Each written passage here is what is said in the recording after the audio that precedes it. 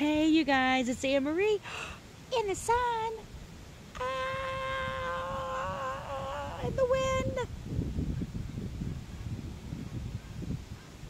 Ah, I almost feel like I'm on the ocean, but not the same.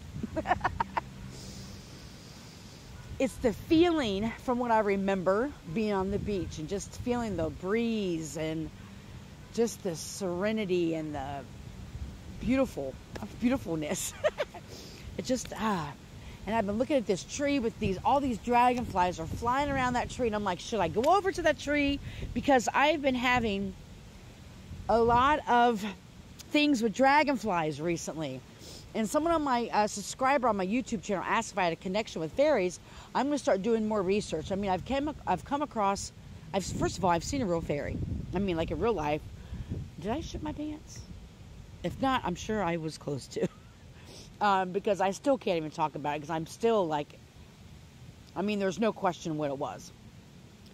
But anyway, um, yesterday there was this dragonfly that was um, going counter, counterclockwise around me before I did my messages. And when I looked at my messages, or my, my readings, when I looked at these uh, posted videos I did last night or yesterday, you can see the dragonfly in the background. And so, and, and, and I'm looking at other trees and other thing in the distance. I don't see dragonflies anywhere else. I know we're in a park. I know that's where they are at. But this one tree, they're just kicking it over there. And it's been like that for over an hour. So I'm thinking maybe I need to go over there. Anyway, why don't we pull some cards, get some message of clarity for those of you who like it. Thank you, divine instant beings and sources of light. Thank you, nature spirits. Thank you, divine light, all my high vibrating ancestors, spirit guides, divine beings, the source of life that are from my highest and greatest good.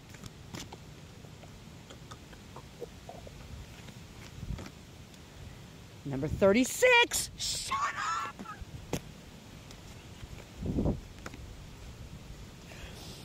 Woo! Here's another confirmation. Watched any of my videos. I even commented on someone's video too.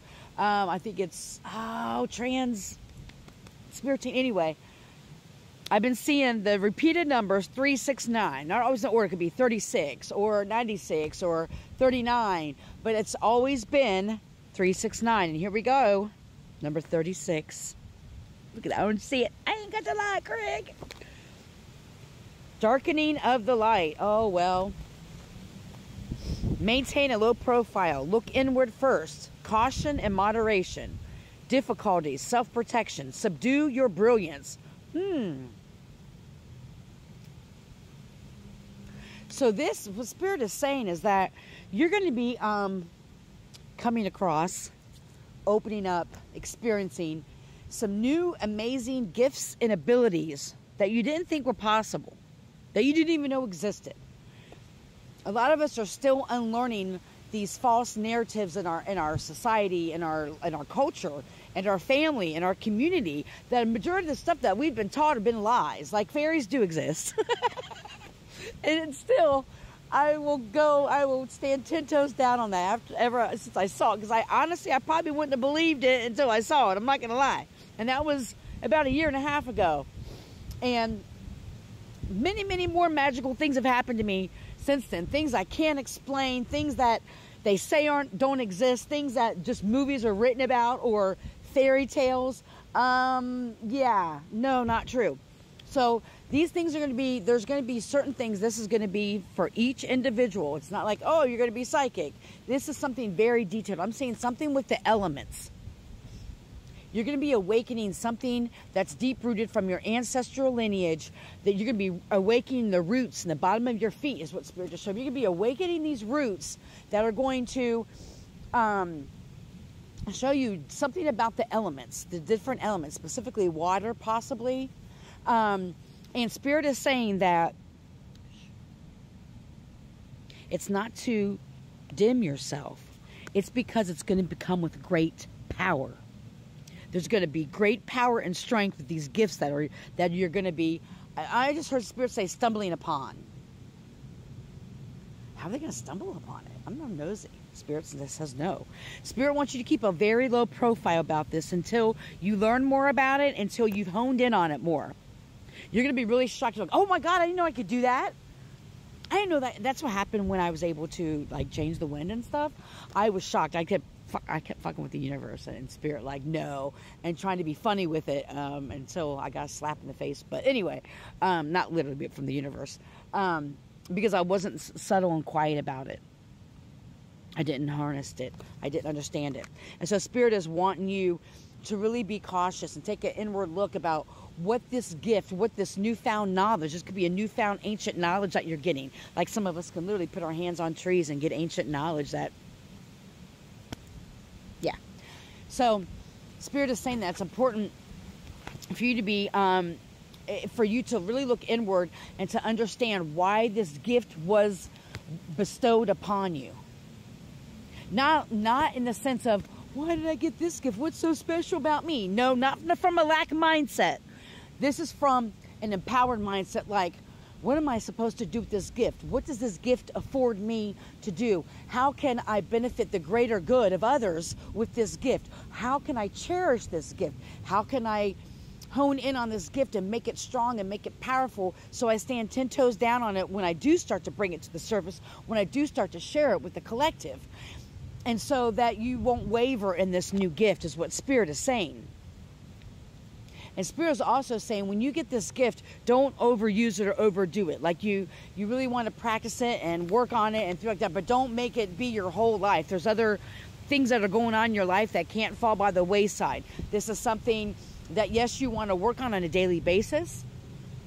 After you do a meditation, Spirit says, make sure that um, you do a meditation before and possibly after you're done practicing this gift or working with it or whoever this element is. And, and, like I said, even though I'm feeling water, it could be any of the elements. So take what resonates.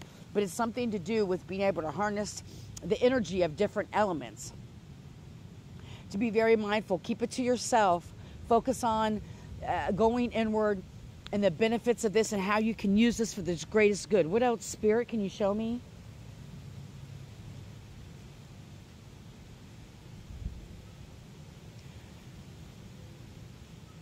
Spirit is I kept seeing like this, so don't don't tell anybody about it. Don't tell anybody about it. Ancestors, I want to know what else could you tell us about it? Ancestors, what else can you tell us?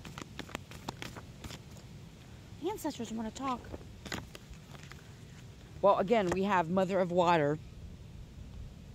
Emotional self-care, number 30. There's that three again. And then we have 41, which would be five, uh, Father of Earth, generosity. So this gift is gonna um, is gonna be very profitable profitable for you, not in a sense of like. Yes, you're gonna make money off of it. But that's that's not the goal. If your intentions are to make money off your gifts, if that's your first intention, is profits, you may be sadly disappointed in the long term. Does that mean we don't make money off our gifts? No, I'm, there's all these debates about it. There always has to be an energy exchange for that. But this is this is pr- profitable in different ways. Like you're going to be teaching people how to tap in. Others who end up having this gift or these abilities or whatever it is you're going to be the one to be able to kind of pave the way and show people. That's why Spirit kind of wants you to keep it under wrap. Did I show you both these cards? Uh, Mother of Water, um, Look at her. She's she's to herself. She has all all the energies and from the universe, from their spirit guides. And this is spirit is saying that don't get carried away with this gift in the sense of this is all you do and focus on because some people they've also been i'm around a time of course other people have been bestowed this gift but they were obsessed with it so much that it made them sick. So not to become obsessed with that's why the self-care is important. For you to meditate before and make sure that the energy that you're pulling in with this gift or whatever it is is from a good place. Not all the uh, guidance that you get are from the highest to high and uh, for your highest and greatest good. There's all kinds of energies that try to infiltrate and get us off track and distract us, right? So, Spirit is saying that it's really important for you to do self care. Don't get obsessed with this. Harness in on it. Don't tell anybody about it. We're running out of time. And you will get gifts from the universe. The universe will be very generous if you manage this gift well and do right by it. I hope you're healthy and happy, full of joy, you guys. May you love.